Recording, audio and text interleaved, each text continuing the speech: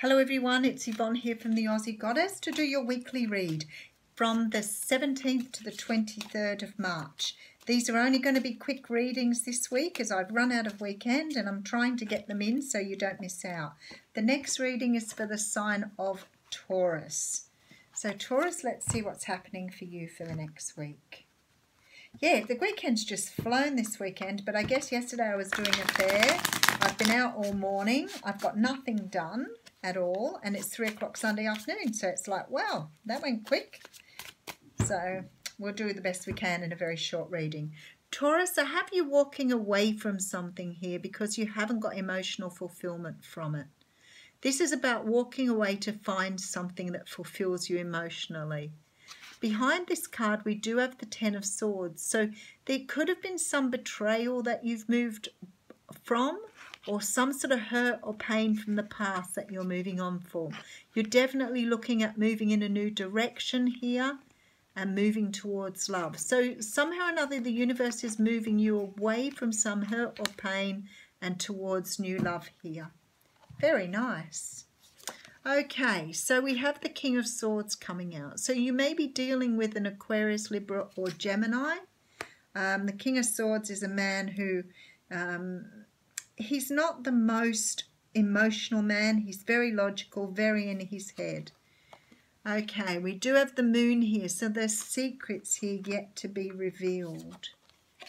We do have a Knight of Swords coming in, so it's definitely an offer coming in for you here.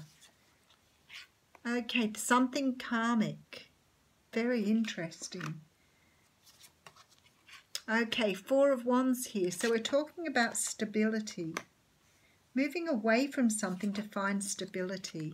Seven of Pentacles, something you've been manifesting here. Something that will bring you a great deal of joy and happiness. Could be with a water sign, Cancer, Pisces or Scorpio. We do have the Three of Swords here, so I feel like this is what you're moving away from. And we do have the ego energy here, the shadow side. Okay, Taurus, you're about to walk away from something. You're definitely walking from some relationship that broke your heart, possibly with an air sign. You've got a brand new offer coming in, and I feel this is coming from someone else. Now, it could be the water sign that's broken your heart, and you're now getting an air sign coming in, or vice versa. But the new person is bringing you joy, happiness, stability, abundance. It's really nice. Now, you have the ego card coming out at the front here and I have the karma card here. So there is a re, sort of like a bit of a warning here to be cautious about how to move forward here. Now the energies do flip-flop and I'm not sure if this is to do with you or to do with the other person.